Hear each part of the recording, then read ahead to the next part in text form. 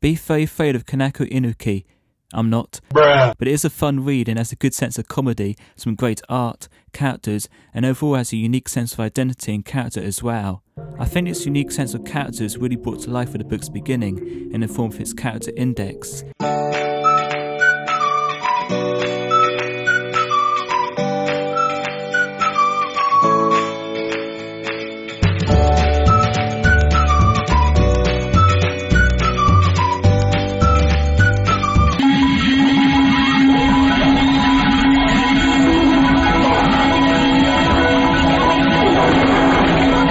Course, this has been done before, but however, I haven't seen it really been used in too many horror manga personally.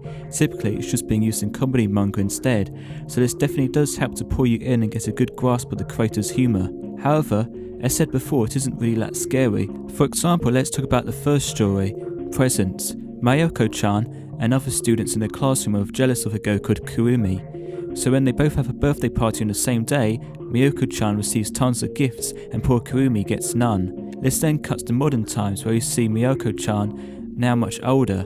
Once again, it is her birthday, and so once again, she receives a gift. After this, she talks about her life, reflecting on how we must all grow old. Then, Kurumi appears mockingly, still being the same age as before, but now a thousand year old dragon loli, I guess, as since she didn't get any presents, and she didn't age. Miyumi chan mocks her before running away, leaving Miyako now nervous to open her present.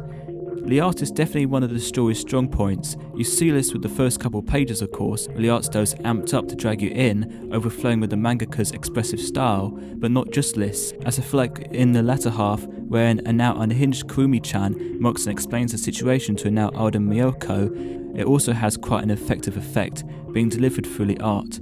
It's definitely somewhat inspired by Junji Ito's style, especially the close-ups, which does make you feel a sense of dread, the detail that Kurumi runs away from Miyoko-chan works psychologically well too, as the horror is coming from the logical fact that since Kurumi-chan has an age, then she can obviously outrun a now old Miyako-chan. By grounding the horror like this, it definitely does work well in the story's favour. However, while I did appreciate the art in these scenes, I was also a bit put off by the exposition Kurumi gives.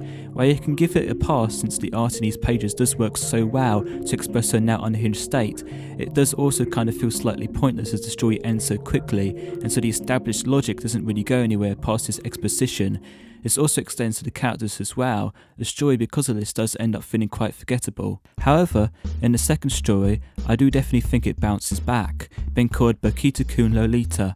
The characters here are very memorable, being almost like a comedic duo, Bakita-kun and Marimo-chan, who bounce off each other very well in this story, in part thanks to their contrasting personalities and as well as expressive art which further brings them to life. In short, because of some hijinks and shenanigans, our protagonist, 5 year old Marima chan, meets up with Bakita kun.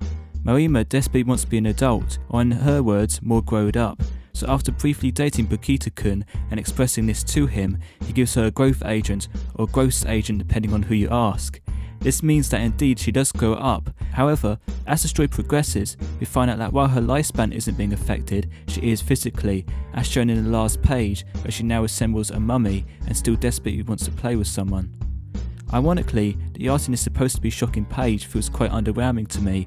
It does its job, it looks like it came out of a kid's cartoon, not a manga meant to properly scare you. So in this sense, you could say that it looks toned down from what it could have been. Perhaps this was done to better fit the fibre of the story, as it definitely does focus more on the mangaka's comedic strengths and how the art style better reflects this, so this might be more personal than anything else, but the point still stands. That being said, I do think that the art for the most part, and its characters and humour, do redeem the story.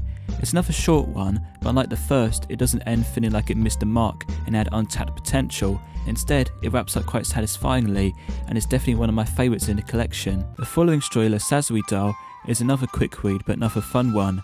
I really enjoyed the concept of the story this time, featuring older sister Sazui-chan and her relationship with her younger sister Sanagi-chan.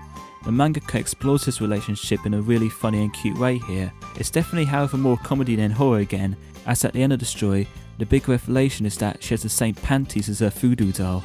I wouldn't say that the story being like this is a negative however, and again shows Kanako's uniqueness, especially in horror manga. The next story, as I previously mentioned, did frighten me a bit, called The Haunted Examination Room. It features Dr. Kananawa, who gets visited by a number of strange patients, this time a young girl called Koiko. Koiko is quite the introvert with a fear of the opposite sex, since she grew up in a household with an abusive father. However, when she does reach puberty, she does indeed fall in love. However, she falls in love with a fictional character in one of her books. This makes her mental state more and more deteriorated, yet her visions of her love are more and more convincing. In the end of the story, she actually does end up giving birth to a deformed version of her lover in the form of a baby with a literal guy head. It's, it's fucking weird. And some and somehow the baby's literally born from her fucking heart. It's a weird story, but it's fucking great. It's fucking brilliant. She then eats the baby, as she's found reality so harsh that he shouldn't exist in it. Then she probably fucking dies. I think I'm pretty sure she fucking dies from that. Anyway, the art here definitely works well, especially for the reveal of her lover's truly deformed form, as well as her seeing him beforehand in an uncanny form surrounded by walls of probable flesh. Aside from this, another detail I like is that his legs are kept in the dark, as if they still haven't been properly formed yet, still somehow rooted to the depths of whatever was wrapped around them. The baby bursting out of her was also good visual, definitely borrowed from Alien a bit but worked around its own regard too. I mean aside from this it definitely does borrow quite a bit from Junji Ito's style, but I wouldn't say it really subtracts from this either, especially since this is one of the only stories that really actually did fucking scare me, so I wouldn't want to make that kind of conclusion. Not much to say about the last two stories, however. Fulfilled Wishes is definitely the better of the two, and I honestly forgot the last one. I quickly flicked through it to write this review and remembered why. It doesn't really go anywhere. Perhaps if I found a collection of more stories in the series, then it would appeal to me better, but being just a standalone in this collection definitely doesn't do it any favours. It slightly does remind me of Junji Ito's Dissolving Classroom too, however, but that one is definitely better than this. There is some gore in this story, and some humour to top it off, but it doesn't really stick with you, and I feel like the humour in this case does more to subtract from the horror rather than to add to it. Fulfilled Wishes is alright. It had a twist which while was predictable still was an interesting concept. The monster designs, however, like the previous mentioned Mummy, also looked a bit too toned down. Again, perhaps this was done to further complement the story's style, but to me it just comes across as missed potential, as they honestly look a bit too tame. So in conclusion, Be Afraid of Kanako Inuki is definitely a mixed bag. It definitely does a lot right, but ironically isn't that scary. However, I'd still say that most of the stories are indeed worth a read and even a reread, as the mangaka's art style definitely pops out at you, and it is distinctly their own.